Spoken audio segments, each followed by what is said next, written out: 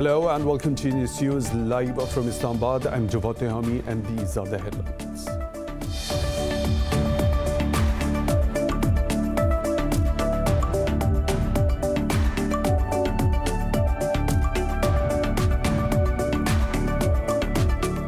Pakistan has called on the UN Security Council to urge India to lift the military siege in occupied Jammu and Kashmir.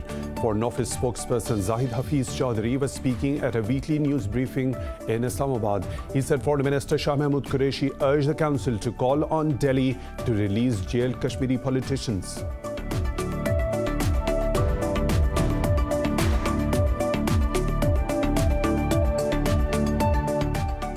300 MPs from Myanmar have urged the UN to probe rights abuses by the military following the last week's coup.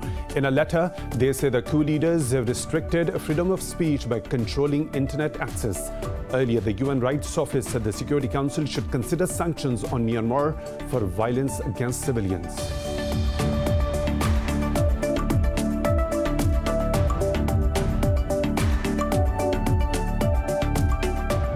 Lebanon's Prime Minister designate Saad al Hariri says no progress has been made in talks to form a new government. He was speaking to reporters in Beirut after his first meeting with the Lebanese President Michel Aoun in weeks. Lebanon hasn't been able to form a new government since Prime Minister Hassan Diab resigned following the Beirut explosion last year.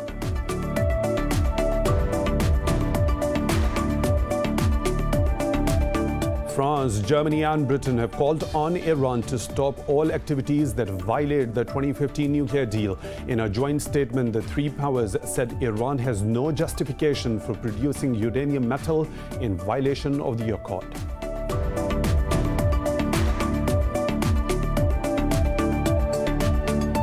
Pakistan has approved China's CanSino, SinoBio vaccine for emergency use against COVID-19. The country has already approved Chinese Sinopharm and Oxford's AstraZeneca vaccines. Pakistan registered 33 more fatalities overnight, uh, raising the death toll past 12,000. Globally, the virus has claimed 2.37 million lives and infected over 107 million people.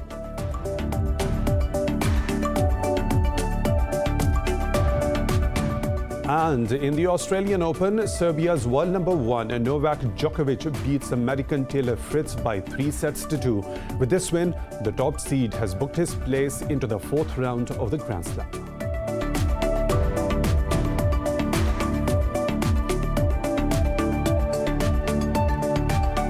Those were the headlines and detailed stories right after a short break. Stay tuned.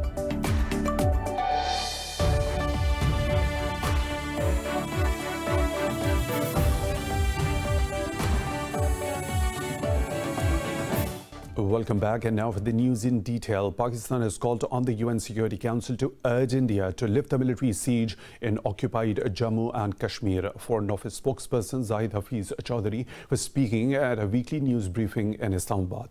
He said Foreign Minister Shah Mahmood Qureshi has urged the Council to call on Delhi to release jailed Kashmiri politicians.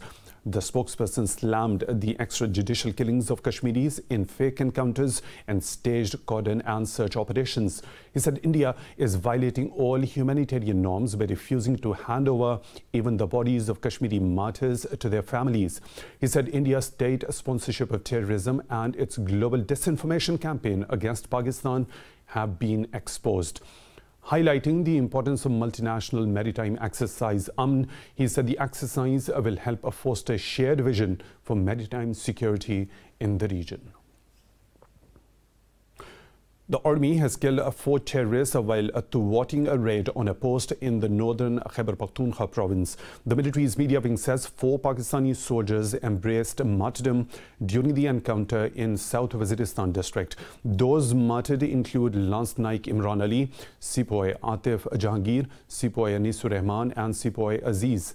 The military says sanitization of the area is underway. Earlier on February 3rd, security forces killed four terrorists during an operation in North Waziristan district. Pakistan's Army Chief General Qamar Javed Bajwa and British envoy to Pakistan Dr. Christian Turner have discussed the Afghan peace process. The meeting was held at the General Headquarters in Rawalpindi. The two also exchanged views on matters of mutual interest. The army chief thanked the UK's support for Pakistan in its fight against COVID 19.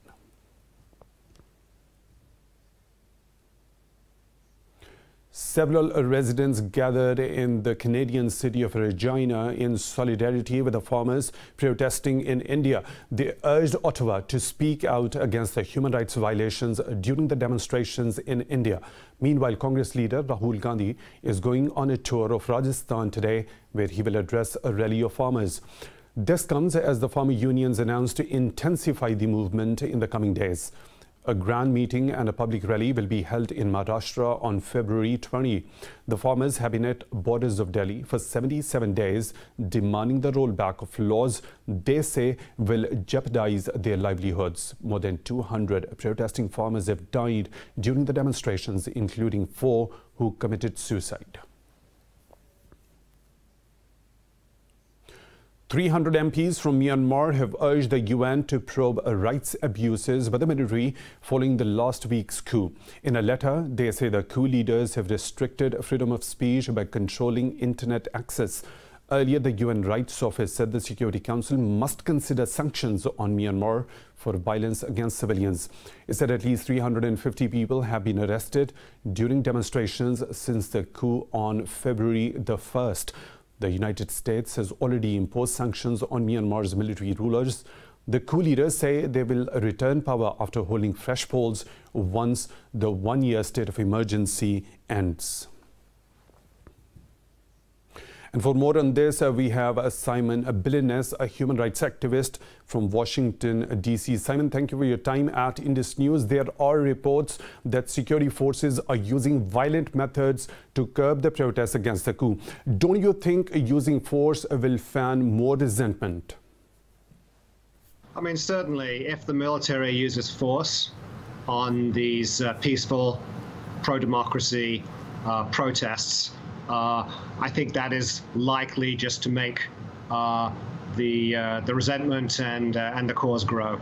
I mean, we're at a very pivotal point right now, and you know what we're doing um, at the, uh, the, International Campaign for the Rohingya, and also No Business with Genocide, is that we're doing everything we possibly can to support civil society inside Burma and to particularly support the young people who are on the streets right now calling for an end to military rule. And uh, the, uh, the call has come up to boycott and sanction the Myanmar military for this coup. The call has come up to go after Myanmar military owned companies. And we're doing everything we can to get um, the global business community to boycott and end all business relationships with Myanmar military owned companies. And we're also lobbying our governments to place sanctions on the Myanmar military officials and again on, on Myanmar military owned companies. Simon, after the US sanctions, now the UN human rights body has also called for the curbs on the military uh, rulers. How effective do you think it could be for the restoration of democracy over there in Myanmar? These sanctions can be very effective. Uh, history has proved that when the Myanmar military is under sanctions, their behavior improves. And when the Myanmar military is not under sanctions, that's when they believe they can act with impunity, and that's when they commit uh, the worst human rights abuses. And so, you know, we saw that in August 2017. After the US dropped all sanctions on the Myanmar military, in in at the end of 2016, then the Myanmar military felt completely uh, free to launch that campaign of genocide against the Rohingya. And so, you know, history has proved that sanctions work with the Myanmar military. They understand political pressure and they understand economic pressure, and that's the pressure that the international community needs to exert right now to stop, if we can, the military from using force against the uh, the uh, the youth on the streets in Myanmar right now. So, uh, Simon, you have alluded to a very important fact that whenever there are no sanctions, Myanmar's military acts with impunity. So, hasn't the military rulers over there learnt lessons from the past?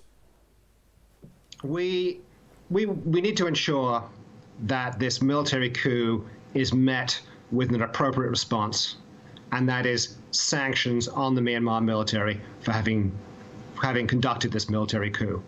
The United States government has called this a coup. The United States government has sanctioned top military leaders and a number of Myanmar military owned companies. That's a very good first step. We need other countries to follow suit.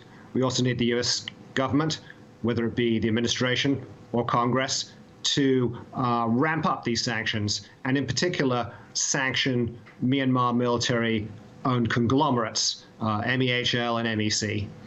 Um, you know, the Myanmar military has to understand that uh, any violence by them on the Myanmar people protesting peacefully in the streets, any act of violence will be met with a response by the international community that will sanction them, sanction their business interests, sanction their families, and uh, and uh, put you know enough political and economic force that uh, we get the military to back off. Okay, uh, Simon, people from all walks of life are joining the protests, including doctors and police as well. So, is there any possibility that uh, personnel from within the military ranks could rise against the coup also? I mean, I think we're seeing is that members of the police and members of the army who are from the same communities as the protesters are much less, li- much less likely to uh, uh, obey orders to to shoot and kill their own neighbors. Um, what we've seen in the past is when the Burmese military wants to crack down on protests in Rangoon and in Mandalay, they bring in troops from outside of those communities who don't have those community ties. And we're we're very worried. Uh, we're looking for any possible deployment of troops from Rakhine State or Kachin State or Karen State into the capital, uh, Naypyidaw, and into major cities like Mandalay and Rangoon. If we see that, that could be a uh, uh, that could presage a uh, a violent crackdown by the military. So we've got to look out for that. But you know, I do expect to see defections from the military, from the police, uh, and just you know, general civil disobedience from soldiers. You know, you know, in, in the past, demonstrators have urged soldiers that if they're told to fire, that they just simply cock their rifle up and fire over the people's heads instead. Things like that. And so, um, yeah, it's it's it's a very very tense situation. We are at the risk of of serious violence by the military against the Myanmar people protesting on the streets. And you know, this is why the international community needs to act needs to act now to make it very clear to the Myanmar military that uh, this far and no further. Simon Billenness, a human rights activist from Washington, D.C. Thank you very much for your time at Indus News and we really appreciate that. Now moving on, France, Germany and Britain have called on Iran to stop all activities that violate the 2015 nuclear deal. In a joint statement, the three European powers condemned Tehran's decision to produce uranium metal. They also told Iran that it has no justification for breaching the accord. The deal aims to provide a gradual lifting of sanctions against Iran in exchange for Tehran's commitment that it will not seek a nuclear weapon. But the agreement has been crumbling since Washington's unilateral withdrawal in 2018. The European Parliament has called on member states to ban arms sale to Saudi Arabia and the UAE. A joint motion adopted by the Parliament called for holding all the perpetrators of human rights violations in Yemen to account. It called for the EU global human rights sanctions regime to be deployed to impose targeted sanctions. The motion also recalled Germany's ban on arms sales to Saudi Arabia and Italy's ban to the UAE and Saudi Arabia. Brussels also welcomed Washington's decision to halt arms sales to Riyadh and to suspend the transfer of F 35 jets to Abu Dhabi. Lawmakers said some other European countries are also planning to join the ban. The UN has warned at least 400,000 Yemeni children under five may die of starvation this year without urgent intervention. According to a report by UN agencies, there is 22% increase in acute malnutrition among children under five as compared to last year. The warnings come nearly six years after the outbreak of war left 80% of the population surviving on humanitarian aid. As per the report, Aden, Hodeidah, Taiz and capital Sana'a are among the worst hit cities. In a joint statement, the World Food Programme and the WHO said another 2.3 million under 5 will suffer acute malnutrition in 2021. The UN says the Arab country is the world's largest humanitarian crisis. More stories to follow right after a short break. Stay tuned.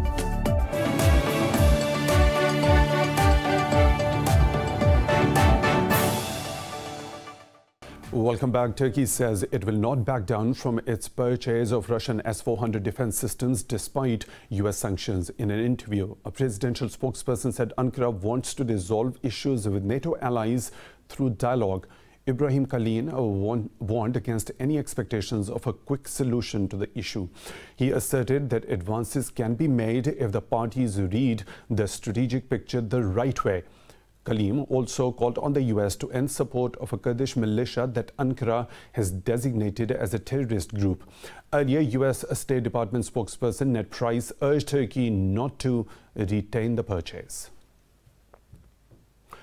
Lebanon's Prime Minister designate Saad al Hariri says no progress has been made in talks to form a new government. He was speaking to reporters in Beirut after his first meeting with the Lebanese President Michel Aoun in weeks. Hariri earlier met with French President Emmanuel Macron, who is pushing Lebanese leaders to form a new government and tackle their country's financial crisis. Lebanon hasn't been able to form a new government since Prime Minister Hassan Diab resigned following the Beirut explosion last year. More than 200 people were killed in the blast. US President Joe Biden has extended the national emergency for Libya by another year. Biden says the crisis remains an unusual and extraordinary threat to the US national security and foreign policy. In an executive order, he said the foregoing circumstances and prolonged attacks have worsened the security situation. The US president said measures are needed to protect against the diversion of Libyan state assets. Washington first declared emergency for Libya in early 2011 during Muammar Gaddafi's government. The U.S. accused Gaddafi's regime of using violence against civilians and misappropriating Libyan state assets. Uh, Russia says it is ready to cut ties with the European Union if the bloc hits Moscow with economic sanctions. In an interview, Russian Foreign Minister Sergei Lavrov said if one wants peace, one must prepare for war. He said Moscow should be self-reliant in its economic sector to minimize the effect of potential EU sanctions. EU foreign ministers are set to meet soon to decide upon curbs against Moscow over the arrest of Kremlin critic Alexei Navalny. Meanwhile, Navalny has once again returned to court over another trial on slander charges. He stands accused of defaming a Russian World War II veteran who took part in a promotional video backing constitutional reforms last year. Australia's second most populous state of Victoria has entered a five-day lockdown again after a new COVID-19 cluster outbreak. Mexico has reported 10,000 new cases and more than 1,400 fatalities overnight. The nationwide death toll has exceeded 171,000. Globally, the virus has claimed 2.36 million lives and infected over 107 million people. What in this report? The fight against COVID 19 is getting more complicated by the day. Brazilian officials say the variant identified in the country's Amazon region can be three times more contagious than the previous ones. Meanwhile, indigenous leaders have warned of evangelical missionaries turning Amazon villages against COVID 19 vaccines. In the United States, an official panel of experts examining the previous administration's pandemic policies says 40% of the deaths from COVID 19 could have been averted. President Joe Biden also slammed the Trump administration for not ordering enough doses and mobilizing people to administer vaccines. It's no secret that the vaccination program was in much worse shape than my team and I anticipated. We were under the impression and been told that we had a lot more resources than we did when we came into office. While scientists did their job in discovering vaccines in record time, my predecessor be very blunt about it, did not do his job in getting ready for the massive challenge of vaccinating hundreds of millions of Americans. British Swedish biopharmaceutical company AstraZeneca says production of vaccine against the new COVID 19 variants can take six to nine months. However, people who have received two doses of the Pfizer vaccine showed strong immune responses against the Kent and South African variants. South Africa is set to start vaccinating millions against the local variant with the Pfizer and Johnson & Johnson vaccines. New Zealand will also start vaccinations for border staff from next Saturday. This morning, I can confirm that New Zealand's first batch of the Pfizer BioNTech COVID 19 vaccine is set to arrive in New Zealand next week, well within our scheduled timeframe and ahead of previous expectations. That means we should be in a position, all things going to plan, to start vaccinating our border workers from next Saturday, the 20th of February. Germany has decided to ban travel from the Czech Republic and Austria over the surge of infections in more contagious variants. Over in France, the British variant of COVID 19 now accounts for almost a quarter of all new infections. Pakistan has approved China's CanSino bio vaccine for emergency use against COVID 19. Pakistan is the second nation after Mexico to approve the vaccine. The country has already approved Chinese Sinopharm and Oxford's AstraZeneca vaccines. Health Minister Faisal Sultan said the country could receive up to tens of millions of doses. Pakistan has registered 33 deaths from COVID 19, pushing the toll to 12,218. In the past 24 hours, the health ministry recorded 1,270 new infections. The ministry added that over 518,000 people have recovered from the disease so far.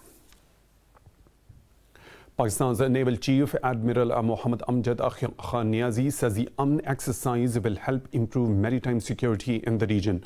He said this in his virtual message at a ceremony to commence the multinational level exercise at the Pakistan Navy dockyard in Karachi. Niazi highlighted the Pakistan Navy's efforts to fulfill international obligations besides protecting national interests in the Indian Ocean. Meanwhile, Commander Pakistan Fleet Rear Admiral Naveed Ashraf praised the participating countries for their support towards Pakistan's quest for peace at sea. Up to 45 countries are taking part in the Aman exercise which will continue till 16th of February. The opening of the exercise was marked with hoisting of flags of all the participating nations. Senior military representatives from participating countries, observers, diplomats and Pakistan Navy officials attended the ceremony. Kyrgyzstan's ambassador to Pakistan, Erik Beishembiev, says his country wants to strengthen its deep socio-cultural ties with Islamabad. He was exclusively talking to Indus News after delivering a lecture at the Center of Pakistan and International Relations in Islamabad. He highlighted the prominence of the China-Pakistan Economic Corridor and CASA 1000 project in boosting relations between Pakistan and Kyrgyzstan. He also stressed the need of enhancing cooperation in different sectors, including trade, education, and sports. We can uh, have our relation all uh, sphere, not only trade, economical, but also for the scientists, uh, educational, culture, sports activity. You know, uh, for the uh, trade and economical activity, we uh, need to promote more our uh, quadrilateral transit transport agreement, which using by the CPEC you know, uh, from Gwadar to Kashgar, and then after Kashgar, you can come easily to my country, and then to our all Central Asian countries, even to the Euro-Asian Economic Union, up to uh, Belarus. So uh, I invite all business community to come to Kyrgyzstan and um, have uh, uh, set up the joint venture or 100% Pakistani entrepreneurs and uh, for our uh, activities. also, as you know, we are a member Shanghai Cooperation Organization, and on the frame all our all of these countries, we can boost these activities uh, not only between our both countries, but for all uh, members uh, Shanghai Cooperation Organization. I do hope uh, this year after the corona, we can uh, be uh, more active uh, for all our uh, countries. Zara Naeem, a student from Pakistan, has been declared the global prize winner for scoring highest marks in an ACCA exam. She scored the marks in the financial reporting exam conducted in December 2020. Zara gave the credit of her achievement to her father. The ACCA qualification is considered the gold standard in accountancy with a recognition and presence in over 179 countries. The Lunar New Year has begun in Asian countries like China, South Korea and Vietnam to mark the first new moon of the lunisolar calendars. According to the Chinese zodiac, this is the year of the ox, bidding farewell to the year of the rat. More in this report. The 15 days of festivities begin with a reunion family feast of traditional food on New Year's Eve and culminate with a lantern festival. People gift each other money wrapped in red envelopes, which signifies the arrival of good luck. Streets of several cities have been adorned with colorful in season flowers to welcome the Chinese New Year. This show has a history of more than 100 years. We must continue to pass it on and we shall never lose it.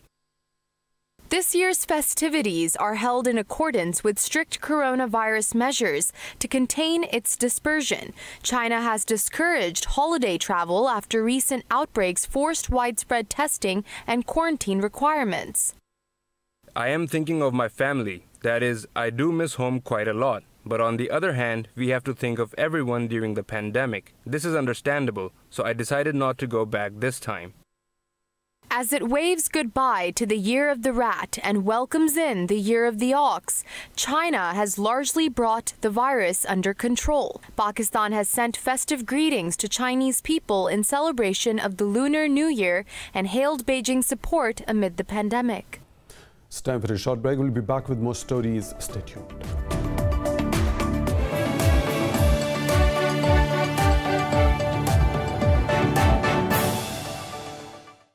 Welcome back. Amid lockdowns due to the coronavirus pandemic all across the world, big crowds and street parades are banned this carnival season. But a DJ in German city of Bonn is bringing the party right to the people's doorsteps. This report has more. 30 Minuten Karneval vor der Haustür. DJ Ralph Noon's campaign is known simply as Crazy on Tour. The musician drives from house to house through the city streets and performs for residents for a short period. To achieve the goal of bringing people closer to the party atmosphere, Ralph converted his van into a carnival unit.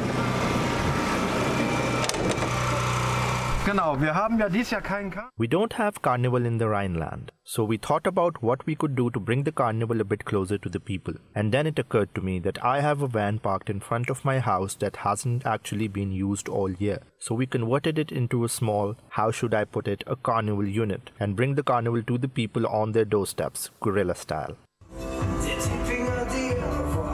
Ralph says since this year's carnival was called off, the idea came out of necessity. The moment he presses play, it takes very little for people to come out onto the streets and dance.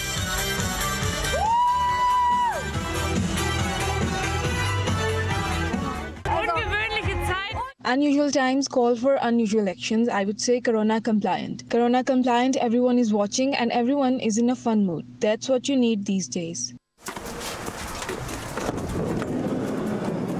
The carnival DJ charges only $80 to go to anyone's home to play music for 30 minutes. He has already received 20 bookings this season so far and is ready to bring good vibes amid the doom and gloom of COVID 19.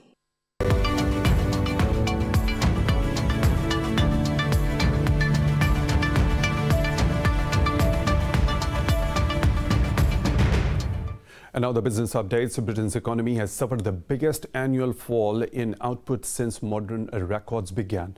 Official data shows the economy is set to shrink sharply in early 2021 again due to a third COVID-19 lockdown.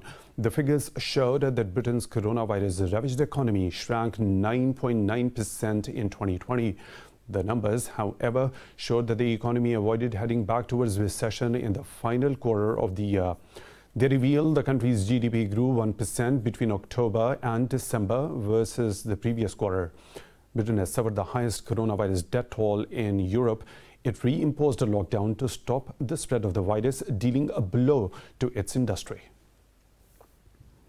The European Union says it is ready to work to resolve its trade dispute with the United States. A spokesperson for the bloc also hailed President Joe Biden's decision to refrain from imposing additional tariffs on EU goods. This comes after US trade officials say they are looking forward to working with the European allies to resolve all disputes. The two sides also engaged in a long running battle over subsidies provided to Europe's Airbus and its US rival Boeing. US stocks have edged lower at open as Wall Street's strong momentum to start February fizzled. The Dow Jones Industrial Average dipped marginally, while the S&P 500 is trading lower fractionally.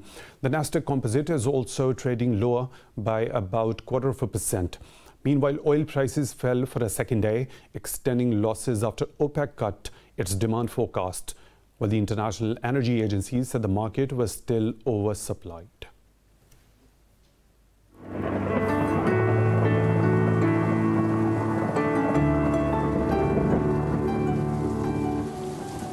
Another weather situation from around the globe.